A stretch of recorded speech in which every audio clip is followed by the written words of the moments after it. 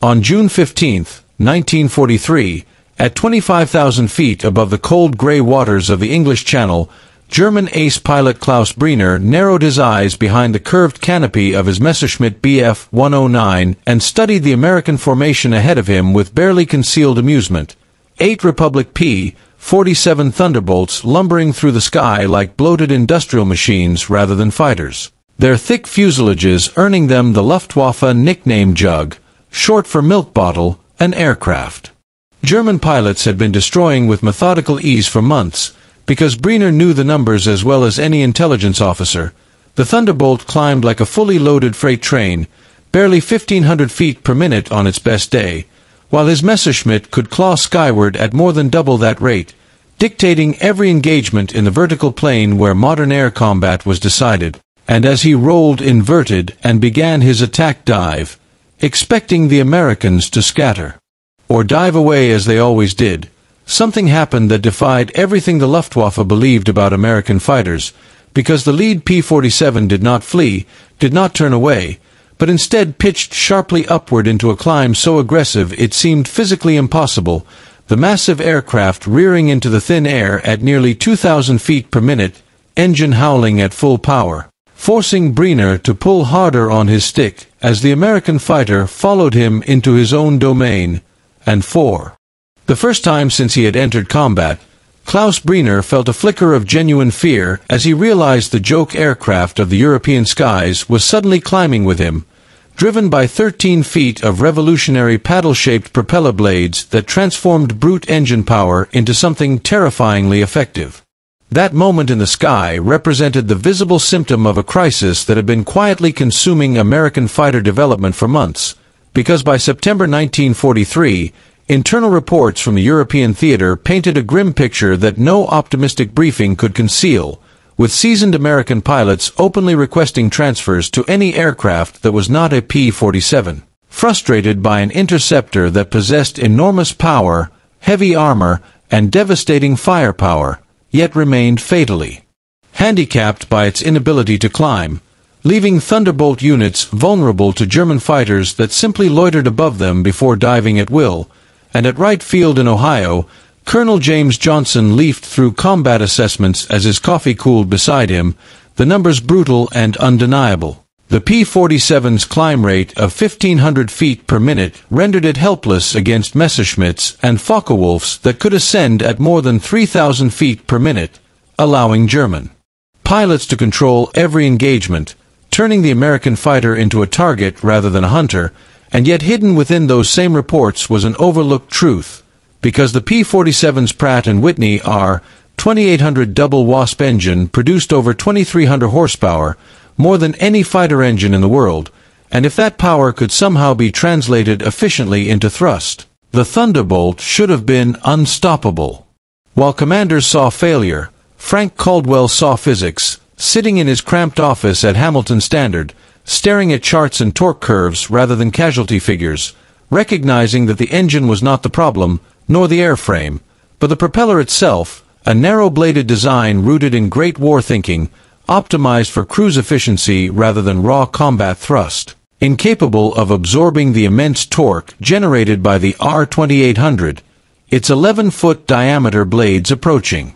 Supersonic tip speeds at full throttle, creating shock waves that destroyed lift and turned precious horsepower into useless noise, and Caldwell's solution violated nearly every principle of conventional propeller design, because instead of thin, elegant blades, he envisioned something closer to a ship's propeller, thick, wide, paddle-shaped blades that would seize massive volumes of air and hurl them backward with brute force, sacrificing elegance for effectiveness, a design that looked absurd to traditional aerodynamicists but promised to unlock the engine's true potential. His colleagues listened politely and objected immediately, citing increased weight, greater drag, manufacturing nightmares, and the enormous cost of retooling factories already producing thousands of conventional propellers, while competitors like Curtiss Electric dismissed the idea outright in favor of incremental improvements that could be manufactured cheaply and safely leaving the Army Air Forces caught between conservative reliability and radical possibility, because choosing Caldwell's. Design meant gambling lives on an unproven concept, even as Luftwaffe intelligence officers across occupied Europe dismissed the P-47 as a crude American brute, heavy, inefficient, and predictable, joking that shooting one down was like hunting a flying refrigerator, certain to fall once hit, unaware that a quiet revolution was taking shape in American workshops. The first experimental paddle blade propeller mounted on a P-47D at Wright Field in October 1943 looked almost comical, oversized and crude, and test pilot Captain Robert Anderson barely lasted 14 minutes before landing with severe vibration reports that threatened to tear the aircraft apart confirming fears that the massive blades introduced harmonic forces far beyond what existing hubs could tolerate, forcing Caldwell's team into weeks of redesign, forging new blade roots completely. Re-engineering the hub, adding weight to the nose, and confronting the brutal reality that radical ideas demand radical solutions at every level. Yet even when vibration was solved, early results disappointed, climb rates improving only marginally, speed gains modest, giving Curtiss Electric's conservative design apparent vindication. Until Caldwell realized the real limitation lay in pitch control systems calibrated for narrow blades, not paddle-shaped giants that demanded a far greater range of adjustment to operate efficiently across different flight regimes. Working 18-hour days, Caldwell's team redesigned the constant speed propeller system itself, doubling pitch adjustment range, overhauling hydraulic governors, re-engineering cooling airflow that now moved more slowly despite greater volume, battling engine overheating that threatened to destroy the R-2800 under sustained power, all while Pentagon officials questioned whether the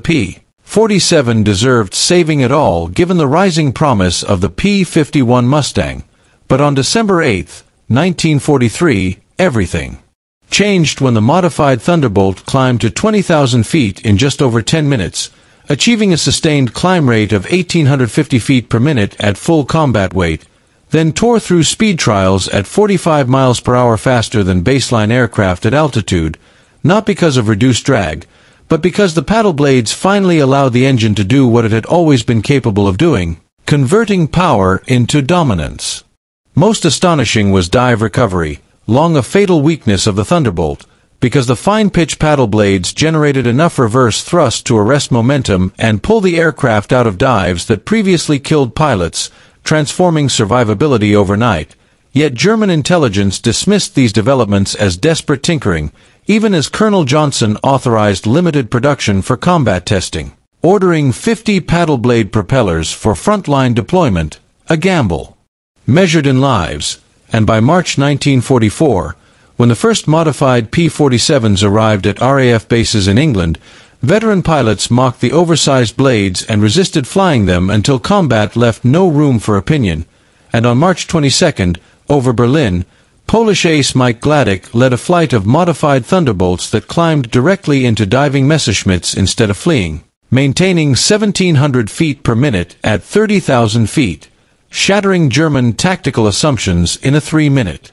engagement that spread shockwaves through Luftwaffe command channels as pilots reported American fighters matching them in the vertical, something previously unthinkable. Captured aircraft soon confirmed the nightmare, German engineers discovering metallurgy and hydraulic precision beyond their own production capabilities, realizing the Americans had solved a problem German designers believed unsolvable, and by April, P-47 units equipped with paddle blades were reporting dramatic increases in kill ratios and survivability as altitude dominance. The cornerstone of Luftwaffe doctrine evaporated, forcing German pilots into low-altitude engagements where Thunderbolt's armor and 8.50 caliber guns proved devastating, and by May, production surged to 200 propellers per month as factories ran around the clock, data confirming 40% higher victory rates and 30% lower losses, convincing the Pentagon to authorize fleet-wide conversion across Europe and the Pacific. The true test came on June 6, 1944, as nearly 400 paddle blade-equipped P-47s thundered across the channel at dawn, climbing with authority unimaginable months earlier, covering the largest amphibious invasion in history while German fighters were conspicuously absent from skies they once owned, because when they did appear, they were intercepted, climbed upon, and destroyed by thunderbolts that no longer needed to dive away to survive, with pilots reporting American fighters at altitudes once considered safe havens, Allied sorties exceeding 14,000 that day while the Luftwaffe managed fewer than 300, losses mounting at unsustainable rates, and by nightfall, German commanders acknowledged the skies over Normandy were lost. As the war ground toward its end, over 12,000 paddle-blade propellers rolled off American assembly lines, turning a mocked aircraft into a terror, producing exchange ratios exceeding 9 to 1, collapsing German bomber operations entirely, forcing abandoned projects and shattered doctrine, and when victory came in May 1945, Frank Caldwell sat quietly in his office reviewing production numbers that told a story far larger than himself, a revolution born not from new engines or new aircraft, but from the courage to rethink how power was used, a lesson that reshaped American aviation, manufacturing, and strategic dominance long after the guns fell silent, proving that sometimes the most decisive innovations are not elegant, not conservative, and not immediately understood, but brutally effective, because 13 feet of paddle-shaped steel had changed the course of the air war over Europe and ensured that the once ridiculed flying milk bottle would be remembered as one of the most formidable fighters of the Second World War.